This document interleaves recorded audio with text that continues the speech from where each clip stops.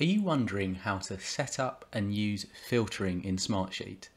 Well, you've come to the right place because today I'm going to be walking through this functionality, how you can set it up and how you can use it when you're working in Smartsheet. So first and foremost, I've just created a brand new sheet.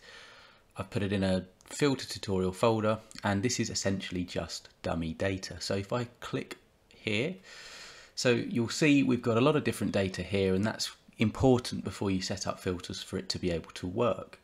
Now, you'll notice that there's no option to filter if you kind of right click on the column. Perhaps that's what you're used to in Excel or some other um, software.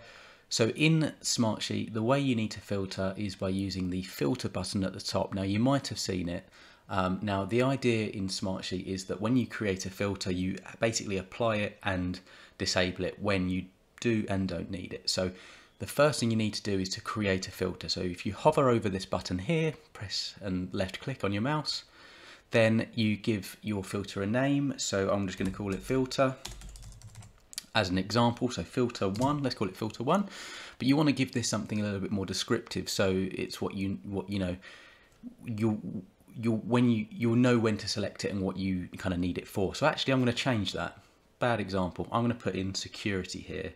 So let's put in security if I can spell correctly. So this filter is going to be what I'm going to do in a, in a moment is I want all of the security feature types to basically appear within my filter. So here we need to set the conditions. So as I say, we want to see all of the security rows. So select field. So this is going to be the feature type.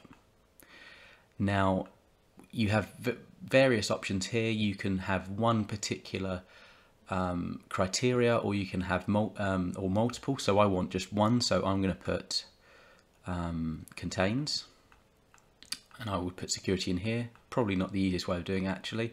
Is one of uh, we just want it to be security, and hit apply.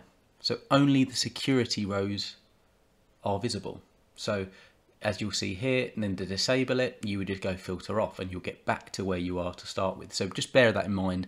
Once you create filters, you need to turn them off to you know return to the original data. Um, and you can delete um, your filters by clicking on that little drop down on the right hand side and deleting using the trash icon. At the same time, you can also clone, which is really, really useful if you wanted to create something very, very similar, or if you've got something quite complex and you don't want to set it up from scratch again, or you can alter it, alter it or edit it. So you'd click the little pencil icon. Now let's change this to account management. Apply, and only the um, account management um, rows are going to appear. Now, of course, you'd need to update the the filter name because security is obviously misleading in that example. Let's delete this off. Now, other ways to use filters are you doesn't have it doesn't just have to be text. So, for instance, we might want to show only rows that are checked. So, in this case, we've got a hot column. So, let's call this hot. And we would select the hot column in the criteria. So, if it's checked, we want it to show. Hit uh, apply there you go. All, all the tasks that are hot are going to apply here. So if I turn it off, filter off, let's just check several of these just to show you what it looks like. And press this button, you'll see that all of those are now appearing.